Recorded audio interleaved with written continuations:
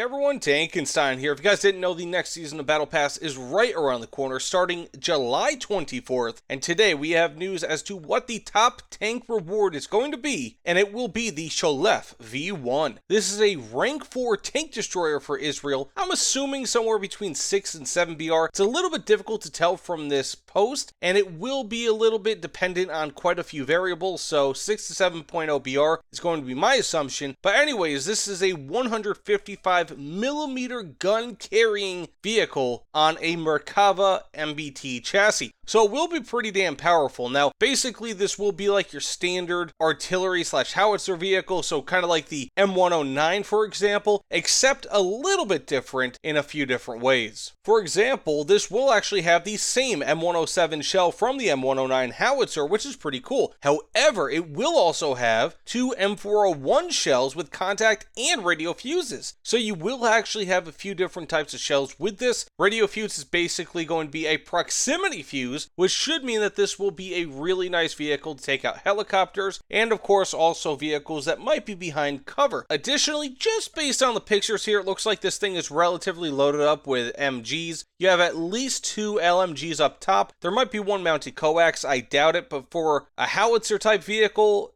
even having two LMGs is pretty damn impressive. Now, insofar as the reloading system is concerned, this will essentially be an auto loader in game. They do say it's got two mechanized drum style ammo racks that will be modeled as an auto loader in game. So this will have five rounds per minute rate of fire, which is basically one shot every 12 seconds, which isn't all that great, but this also could be a very powerful shell. Now, as you guys probably know, HE shells, they're not really dependent on how fast they get thrown out of the barrel. Rather, the size of the barrel, if it's longer, will typically mean that it has greater muzzle velocity, which means that it's got a flatter firing trajectory, which also in means that this will be easier to fire at ranges. This honestly looks like a really long barrel, so I would not be surprised if this had a muzzle velocity that is fairly high. So typically, I think the M109s are somewhere between 6 and 700 meters per second muzzle velocity, depending on the variant, of course. This one I could see being well in excess of 700, which, if that's the case, you'll probably see its BR probably be something like 6.7, but you never know. Now, as I said before, again, this does have the Merkava Mark 1 chassis as kind of its base. Now, bear in mind, this is a modified chassis, which I would assume means that it will have reduced armor compared to the Merkava, but as you guys probably know, Merkavas are among the best armored vehicles relative to their own BRs pretty much throughout the upper end of War Thunder. So I have no doubt that this is going to be a relatively well armored vehicle, at least insofar as its chassis is concerned. It is basically implying, however, that the turret will be fairly weakly armored, kind of like most howitzer or artillery based vehicles, so I'm not really surprised there. But so long as that chassis is fairly powerful, insofar as its armor is concerned, I actually have a lot of hope for this thing. Like I said, I could see this thing being like 6.7 to 7.0 BR. It really depends on quite a few factors like the muzzle velocity, how good its ammo choices are, how fast it is, the armor on the Merkava. I'm not entirely sure how thin it will be relative to the standard Merkava, so we'll have to wait and see. But that said, let me know what you guys think about this in the comments below. I actually think that this is a pretty cool vehicle, kind of like how the PBM 5A Mariner is in much the same way. Relative to our most recent Battle Pass offerings, to be honest with you, these are fairly unique. A lot of the time we had purely copy paste vehicles, it doesn't really feel like that this time, so this is pretty cool. I mean, it's not like these are totally prototype or unique vehicles, but still really, really cool, at least in my opinion. But again, let me know what you guys think in the comments below. By the way, thanks so much for watching. If you don't mind, please consider liking, commenting,